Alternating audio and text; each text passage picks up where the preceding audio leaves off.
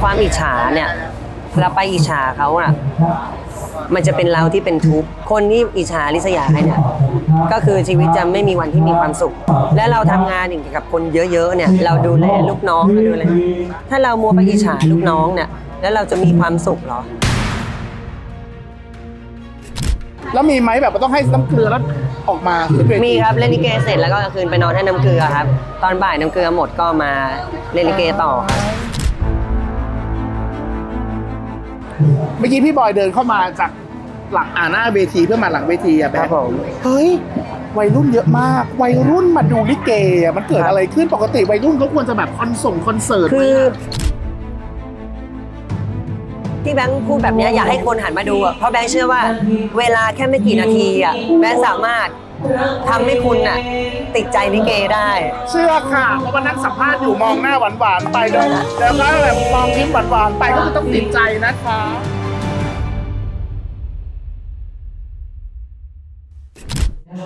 พี่บอยอยู่กับสอนรามน้ำเพชร โอ้โห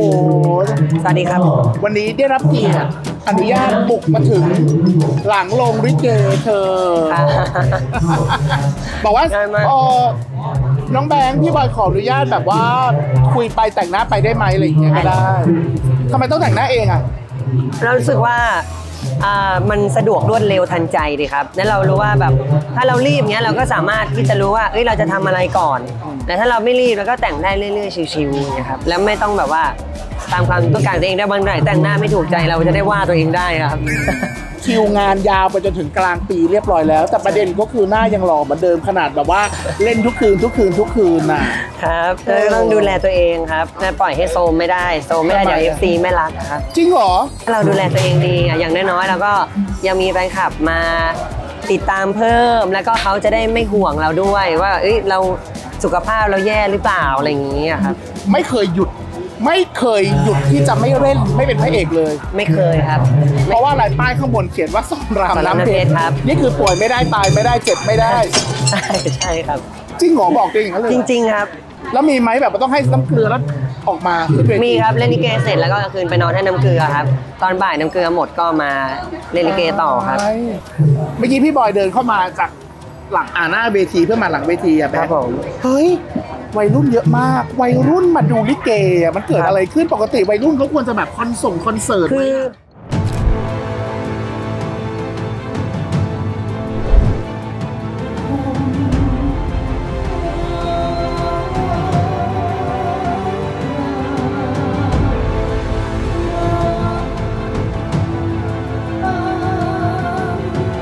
จริงๆแล้วอะครับวัยรุ่นนะครับแบงค์จะบอกว่าก่อนหน้านี้ก็มีมาติดตาม ติดตามบ้างแล้วนะครับ ติดตามบ้างแล้ว เพราะว่าเราเล่นโซเชียลใช่ไหมครับพวกลิเกศิลปินอะมีทำเพจ Facebook แล้วก็เล่นอินสตาแกรมต่างๆเลยครับ ก็เลยอ่าวัยรุ่นเลยเข้าถึงแบงค์พูดแบบนี้ก็แปลว่าก่อนหน้านี้เราเราสัมผัสชัดเจนว่าลิเกมันซบเซาไปพอสมควร เออก็ไม่ได้ไม่ได้ซบเซานะครับถ้าจะเทียบถึงรุ่นแรก ๆ เลยที่แบงค์แบบว่าเริ่มเริ่มเล่นลิเกตอนเด็กๆอะครับตอนนั้นอะซบเซาจริง อ่า ๆ เพราะว่าไม่มีวัยรุ่นมาแสดงลิเก อ๋อ พอไม่มีวัยรุ่นมาแสดงคนครับ แก่ คนแก่เล่น คนแก่ดู มันก็ ใช่ มันก็เหี่ยวกันไป แล้วก็ทำให้ภาพรวมอะดูออกมาว่าเฮ้ยมันล้าสมัย อ๋อ มันมันดูโบราณอะ แต่พอวัยรุ่นมาเล่น วัยรุ่นก็เรียกวัยรุ่นมาดูอ่าน นะครับ มันก็เลยเป็นอะไรที่แบบเขาเรียกว่าอะไรอุปทานหมู่เหรอครับ ไม่อย่าเรียกว่าทันหมู่เพราะว่าที่เรียกว่ากระกระแสอ่าประมาณนั้นกแสประมาณนั้นกลับใช่ในฐานะที่พี่บอยก็ดูลิเกมานิดเล็กน้อยไม่ได้ดูเยอะอะไรเลย ตามเอ่อคนที่ชื่อดวงแก้วลูกท่าเรือค่ะคุณแม่าแม่ตลดผมเองพี่บอยจะบอกอย่างนี้พี่บอยสังเกตดูว่าลิเกในยุคเก่าเนี่ย จะเน้นพระเอกลิเกนางเอกลิเกที่เน้นแบบรำสวยครับร้องเพราะเสียงแบบนุ่มๆดีๆ แต่ปัจจุบันเนี่ยกลายเป็นว่าลิเกครับต้อง มีมุกตลก ลิเกอ่าต้องมีจังหวะแบบดนตรงดนตรีเข้าไปแทรกครับ ต้องใส่ความโบ๊ะบะเข้าไป อันนี้จริงไหม อันนี้พี่บอยสังเกต อันนี้จริงครับ อันนี้จริงมันก็เหมือนเป็นเป็นอีกรสชาติหนึ่งของในโชว์ลิเก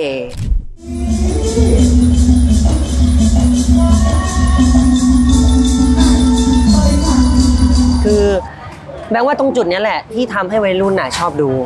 ก็คือโบ๊ะบะอ่าจังหวะโบ๊ะบะ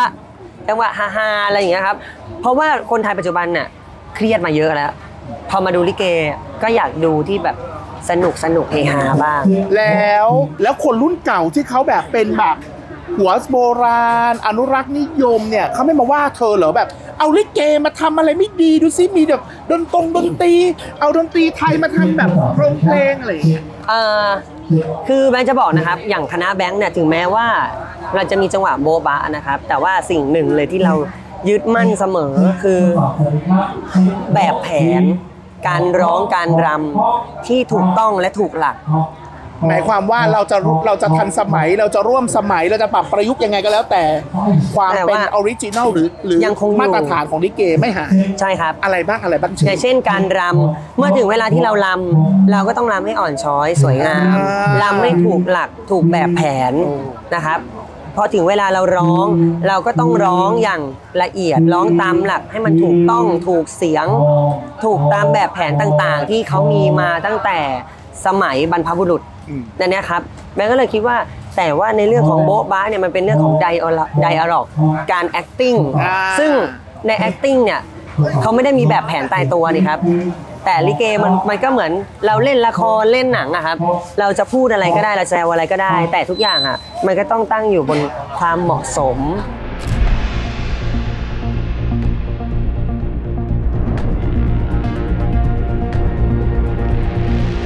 นี่คือ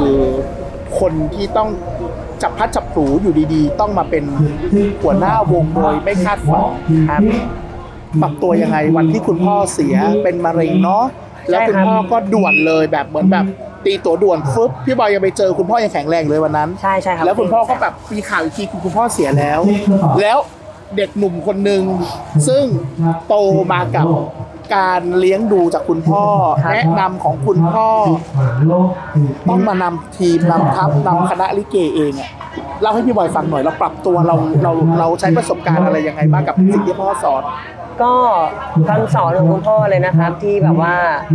แบงค์จำแบบว่ายึดมั่นเลยอะยึดแบบเป็นหลักในการใช้ชีวิตเลยครับ ก็คืออย่าไปอิจฉาใครนะ ความอิจฉาเนี่ยเราไปอิจฉาเขาอะ มันจะเป็นเราที่เป็นทุกข์คนที่อิจฉาริษยาใครเนี่ยก็คือชีวิตจะไม่มีวันที่มีความสุข ต้องไหมครับ และเราทำงานอย่างกับคนเยอะๆเนี่ย เราดูแลลูกน้องเราดูแลถ้าเรามัวไปอิจฉาลูกน้องเนี่ยแล้วเราจะมีความสุขเหรอ ในการที่เราจะต้องมาเป็นหัวหน้าเป็นผู้บริหาร หรือเราไปร่วมงานกับใครก็แล้วแต่เนี่ยแล้วมัวแต่ไปอิจฉาเขาแทนที่เราจะทำให้ชีวิตของเราอะมันดีขึ้นพัฒนาตัวเองให้ดีขึ้น เขาก็ยึดยึดไว้เป็พี่นพ่อสอนแต่เด็กใช่ครับ คุณพ่อเขียน เขียนบนกระจกเลยบ้านหลังเก่าเมื่อกี้อะฉันเห็นหน้าเวทีเขาเขียนไม่ใช่เหรอใช่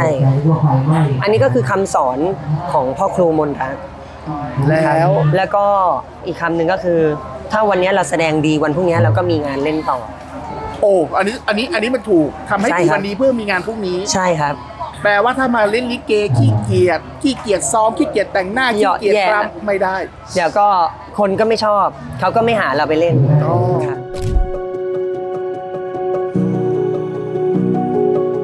คิดถึงพ่อไหมโอ้ยคิดถึงมาก แต่บอกจะบอกเลยครับว่าตอนที่พ่ออยู่ครับ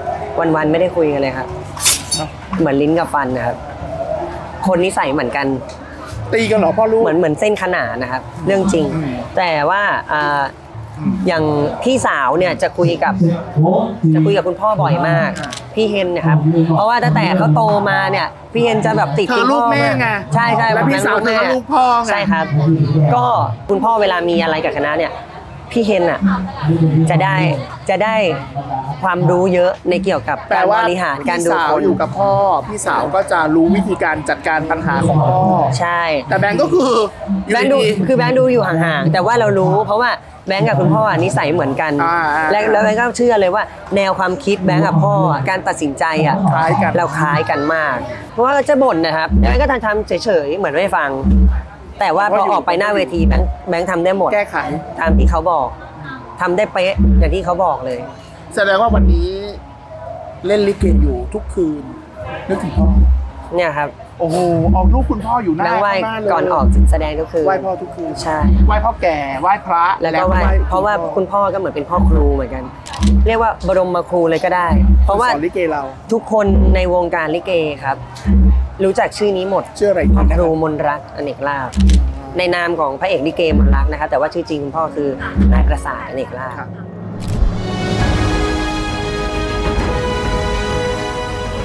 วันนี้พ่อน่าจะดีใจอะไรบ้างที่เราทำให้วงคณะลิเกหรือว่าวงการลิเกมันสืบสานต่อมา เราเคยเราเคยบอกพ่อไหมไปจุดธูปครบปีไปบอกพ่อไหมว่าแบงค์ทำอะไรที่พ่อฝากเอาไว้บ้าง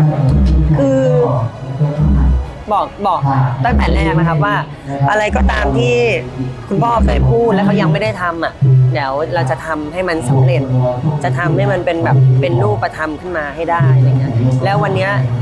เสียดายที่คุณพ่อไม่ได้อยู่ มันเป็นความสำเร็จอีกขั้นหนึ่งของลิเกของวงของของชาวลิเก และก็เป็นความสำเร็จของคณะสอนรามน้ำเพชร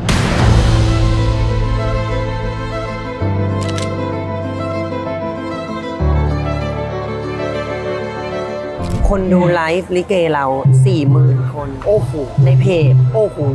และดูในทาง YouTube อีก 10,000กว่าคนเท่ากับว่าคนดูออนไลน์อะครับก็คือแบบหลักสิครึ่งแสนนะครับ เดิมก่อนหน้านั้นอะคนเข้ามาดูไลฟ์อะ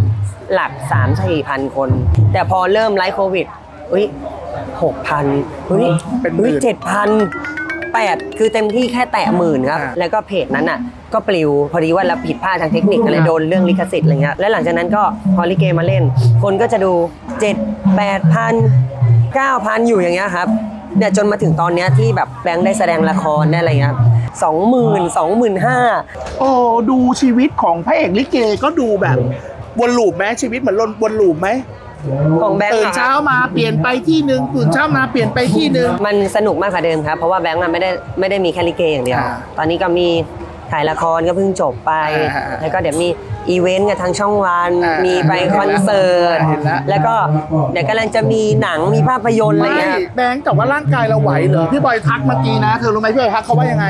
เธอรู้ไหมมะเร็งตับเนี่ยมันเกิดจากอะไรส่วนใหญ่เนี่ยพี่บอยรู้จักคนที่เป็นคณะลิเกเนี่ยเสียชีวิตจากมะเร็งตับเยอะ คุณพ่อน้องแบงค์เนี่ยเสียชีวิตจากมะเร็งตับแบงค์บอกว่าไง นอนน้อย นอนน้อย พักผ่อนน้อยคือเวลาที่ตับทำงาน ตับพักคือเวลาที่เราต้องนอนบนเตียง พี่บอยรู้ไหมทำไมแบงค์นอนน้อย เพราะนอนคนเดียวครับ นี่พูดอะไรพูดเพื่อชวนฉันหรือพูดเพื่อพูดเพื่ออะไรไม่อะหรอกนิดนึงไงเดี๋ยวผู้ชมอาจจะแบบว่าเครียดจะเป็นห่วงไงไม่พี่บอยก็ห่วงเธอตรงที่ว่านอนน้อยมันไม่ได้ครับร่างกายนอกนอนไงแล้วช่วงแบบ อะตีสองตีสามเนี่ยตับต้องพักแล้วเธอก็ยังต้องมานั่งเล่นลิเกอยู่ เดี๋ยวนี้ลิเกเปิดเล่นกี่โมงเลิกกี่โมงเริ่มตั้งแต่สองทุ่มครึ่งอะครับ เลิกตีหนึ่งครึ่งตีหนึ่งแต่จะถามมันมีออกแขกอ่า เดี๋ยวนี้ยังมีอยู่ไหมมีครับเฮ้อาชาสอนรามก็น้ำเพต้องชรก็ต้องเล่นต้องไปรำเหมือนเดิมครับต้องรำถวายเหมือนเดิมเหรอลำถวายมือก็แล้วแต่บางงานจะให้ลงไปลำในโบสถ์อ๋อถวายหลวงพ่อหรือไปลำตามสถานที่ที่เขาบนบานเอาไว้ อ่า หรือ ไปลำหน้าเวทีก็ได้สักการะเจ้าที่อะไรอย่างเงี้ยใช่ครับ ก็มีก็รำอยู่ก็ยังรำเหมือนเดิมวิอันนี้ถีเอกลักษณ์หรือสิ่งที่มันเป็นยังคง culture เดิมอยู่ เก็บไว้หมดเก็บไว้หมดครับ อ๋อ มันคลาสสิกนะ มันเป็นอะไรที่แบบว่า เด็กรุ่นใหม่รู้ทุกคนก็ว้าวหมดอะ มันเป็นเป็นความเชื่อของของอาชีพเรา นี่นี่นี่นี่นี่เธออยากให้ดูโชว์มือเนี่ยเล่นของอีกแล้วเนี่ยเล่นของอีกแล้วเนี่ยอย่าพูดว่าเล่นของอะไรน่ากลัว เล่นของขนาดเนี่ยเนี่ยเนี่ยคืออะไรอะมูนิดๆหน่อยๆครับไม่นิดราคาไม่นิดแล้วเมื่อกี้แอบรู้มาว่ากำลังจะทำเนี่ยเครื่องรางเครื่องรางก็คือเหรียญพ่อแก่พ่อแก่ครับ คนถามเยอะมากอ๋อนี่ใช่ไหมก็คืออันเนี้ยคือคุณพ่อเนี่ยคุณพ่อเป็นคนออกแบบ อ๋อออกแบบ ออกแบบจากนิมิตของตัวเองที่ที่เขาเห็นนะครับคือคุณพ่อเขาไปวิ่งแล้วก็เกิดแบบหน้ามืดอะไรอย่างเงี้ยครับเขาก็เลยอธิษฐานถึงครูบาอาจารย์ บอกว่ายังไม่ได้บวชลูกชาย ขอต่ออายุไปอีกก่อนได้ไหมอะไรอย่างเงี้ยครับพอเสียชีวิตตอนนั้นยังไม่ทันเห็นผ้าเหลืองลูกชาย ก็เลยได้อันนี้มา ก็ระหว่างที่เขาอธิษฐานนะครับเขาลืมตามองท้องฟ้าเขาเห็นอันเนี้ยเป็นนิมิตเป็นมาตามนี้เลยครับเสียนครูกี่กี่กี่เสียงเนี่ยครับ ทั้งหมด 12 เสียนสิบสองเสียงเป็นเสียงพ่อแก่เสียงเสียงครูเสียนครูเลยใช่ครับ แล้วก็ด้านหลังก็เป็นยันเนี่ยครับก็รุ่นเนี้ยปี 53 สร้างเมื่อโอ้โหปี 53 14 ปีที่แล้วอะสิบสี่ปีมีเกจิ 9 องค์มาปลุกเสก แต่ณปัจจุบันก็คือเกจิทั้ง9รูปก็คือมรณภาพหมดอะแล้ว ปีนี้ 67 จะสร้างใหม่ ก็เป็นความตั้งใจครับ แล้วก็จะชวนทุกคนได้ทำบุญใหญ่กันด้วย แต่ว่าตอนเนี้ยเรากำลังคุยโปรเจกต์นี้กันอยู่ จะบอกเลยว่าทุกอาชีพอะครับ บูชาได้หมดเลย เพราะทุกอาชีพมีครูบาอาจารย์หมด คือครูบาอาจารย์น่ะเป็นที่ยึดเหนี่ยวทางจิตใจ แล้วแต่ศรัทธา ใครศรัทธามาก คุณก็จะ เจอปาฏิหาริย์ได้มาก เราก็เป็นคนหนึ่งที่เคารพพ่อแก่ใช่ อันนี้ก็คือจะสร้างรุ่นที่สองก็จะทำเป็นรุ่นที่สองครับที่สอนรามน้ำเพชรจะทำแบบเป็นพุทธาพิเศษกใหญ่เลยครับอะเดี๋ยวรอรอติดตามฝากไว้ด้วยนะรคอรับติดตาม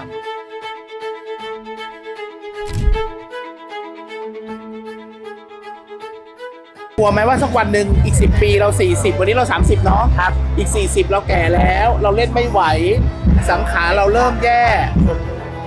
แม่ก็สร้างหลานชายอะครับมีหลานอีก มีหลานชายสองคนแล้วแล้วก็หลานสาวกำลังจะทำมา ก็คือพูดง่ายๆว่า ครอบครัวเราก็คือเป็นสายเลือดลิเกสายเลือดนะครับ ลิเกสร้างกันมา ใช่ครับ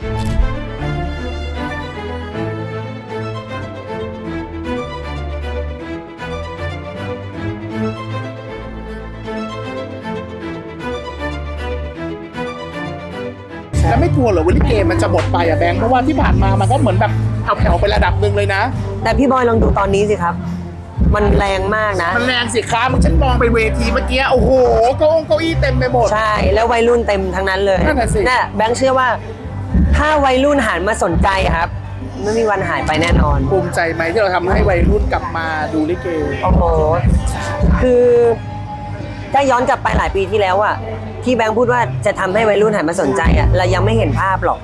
ว่ามันจะทำได้มากน้อยแค่ไหนอะแต่ณวันนี้ผ่านมา 20 ปีกับการตั้งคณะพอเราหันไปมองวันนี้ด้วยอะไรหลาย ๆ อย่างที่ผ่านมา ไม่ว่าจะด้วยเหตุการณ์ไหนที่ทำให้คนหันมาสนใจ จะด้วยงานอะไรโปรเจกต์อะไรก็แล้วแต่ครับ แต่ณตอนเนี้ยเราหายเหนื่อย แล้วเราก็ดีใจมาก ๆ ที่ วัยรุ่นไทยหันมาเห็นคุณค่า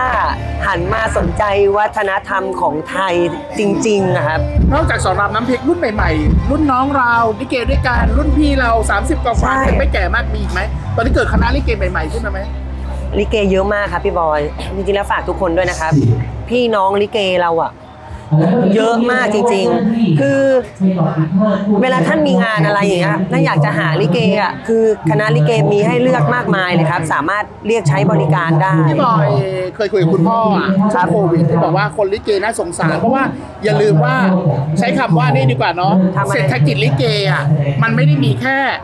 พระเอกนางเอกใช่ครับ มันมีคอสตูมมันมีปีพาดมันมีนางรำมันมีโอ้โหเต็มไปหมดเลย มันเป็นชีวิตเยอะไปหมด เพราะฉะนั้นเนี่ยถ้าลิเกอยู่อาชีพเหล่านี้มันจะสืบกันไป เพราะว่าพ่อเขาเป็นระนาดใช่ ลูกเขาก็เล่นระนาด ใช่ครับ ก็จะสืบทอดไปเรื่อยๆ หมายความว่าถ้าเนี่ยที่แบงค์เล่นทุกวันเนี้ยไม่เคยหยุดงานเลย พอมาแสดงปุ๊บพี่บอยดูมีกี่ครอบครัวที่อยู่ที่ในแบบนี้ เขาได้แบบว่า ไปเลี้ยงปากเลี้ยงท้องครอบครัวเขาใช่ นางเอกหนึ่งคน มีพ่อมีแม่ มีป้า มีตามียาย ที่อยู่ที่บ้านเขาอีกอะไรเงี้ยครับนี่คือเป็นเหตุผลที่ว่าเฮ้ยทำไมแบงค์ไม่ทิ้งลิเกล่ะทำไมแบงค์ไม่ไปแบบละครไปเลยร้อยเปอร์เซ็นต์ซึ่งมันเป็นไปได้ไหมแบงค์ก็สามารถที่จะทำได้ แต่ว่าแบงค์ไม่เลือกทำ นี่คือสิ่งที่คุณพ่ออะฝากคือเอาถ้าเราไว้ทำงานคนเดียวเราก็ทำได้ใช่ไหมใช่ครับ เงินเราได้คนเดียวแหละ แต่อันเนี้ยการเป็นสอนรามคณะลิเกสอนรามน้ำเพชรเนี่ย เรายังต้องหล่อเลี้ยงชีวิตคนเต็มไปหมด ใช่ครับ นี่คือพ่อฝากไว้เหรอ คุณพ่อฝากไว้แล้วก็ระหว่างที่เขาอยู่อะเขาก็กลัวว่าแม่อะไรนะแบงค์ก็บอกว่า ไม่ต้องกลัวว่าไม่ทิ้งแน่นอนพ่อไม่ได้ห่วงเธอเหรอ ไม่ได้ห่วงจะจากลูกจากเมียแต่ห่วงคณะลิเกห่วงคณะ เพราะว่าเนี่ยแหละครับคือคือคุณพ่อมนรักที่แบบที่ทุกคนเรียกว่าพ่อครูเนี่ยครับคือสิ่งที่แบบว่า พ่อครูทำได้ยันลมหายใจสุดท้ายอะพี่บอยพ่อฝากจนนาทีสุดท้ายจนลมหายใจสุดท้ายเลย ก็ขนาดตอนที่เขาป่วยมากๆอะแล้วเดินมานั่งโซฟากับแม่แล้วจับขาแม่เนี่ย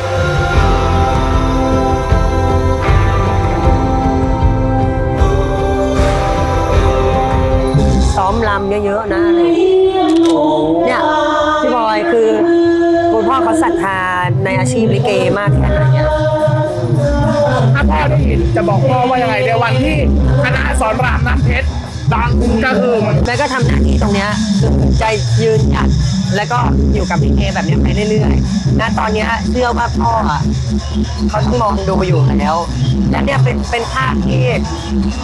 พ่อเขาอยากเห็นและเชื่อว่าพ่อกำลังดีใจอยู่กับความสำเร็จ ของคำว่าลิเก และของคณะสอนรามน้ำเพชรและก็จะบอกว่าเราจะไม่มีวันนี้เลย ถ้าไม่มีคุณพ่อมนรักคุณแม่ดวงแก้วคนที่เริ่มก่อตั้งคณะสอนรามน้ำเพชรทั้งหมดนี้ยกให้คุณพ่อคุณแม่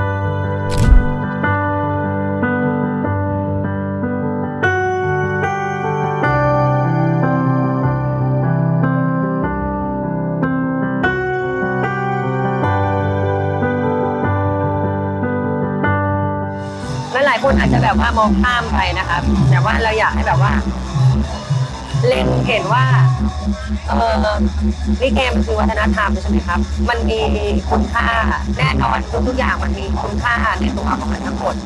แต่เราแค่เราเราแค่อย่าอย่าด้อยค่าลิเกเลยถ้าหากว่าคุณยังไม่ได้มาสัมผัสด้วยตัวของคุณเองสักนิดนึงก็ได้ครับ สักเวลาแค่สองสามนาทีครับ แค่หันมามองหันมาดู ให้คุณได้เข้าใจจริง ๆ ก่อน ว่าลิเกเนี่ย มันเป็นยังไง ใครเล่นใครแสดง เนื้อเรื่องมันเป็นแบบไหน แล้วในโชว์ลิเกมันมีอะไรให้คุณได้แบบได้ดูบ้าง ได้ชมบ้าง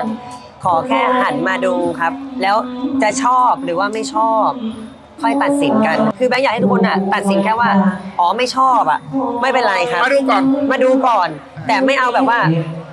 ยังไม่ได้ดูเลย แต่บอกว่าไม่ชอบแล้ว พอเห็นเป็นรำพอเห็นเป็นชุดไทยไม่เอาแล้วไม่เอาไม่เอา มันล้าสมัยอะไรเงี้ย คือคือไม่อยากให้เป็นแบบนั้น ที่แบงค์พูดแบบเนี้ยอยากให้คนหันมาดูอะเพราะแบงค์เชื่อว่า เวลาแค่ไม่กี่นาทีอะ แบงค์สามารถ ทำให้คุณอะ ติดใจลิเกได้ เชื่อค่ะเพราะวันนั้นสัมภาษณ์อยู่มองหน้าหวานๆไปด้วยแล้วก็แบบมองยิ้มหวานๆไปก็คือต้องติดใจนะคะ แล้วก็ภูมิใจภูมิใจในเขาและภูมิใจแทนคุณพ่อ แล้วพี่บอยเนี่ยก็คุยกับคุณพ่อมาเยอะครับก็เห็นความตั้งใจของพ่อและพ่อน่าจะดีใจวันนี้ที่แบงค์ทำทุกอย่างตามที่พ่อพูดจริงครับๆขอบคุณนะคะขอบคุณมากครับพี่บอยขอบคุณ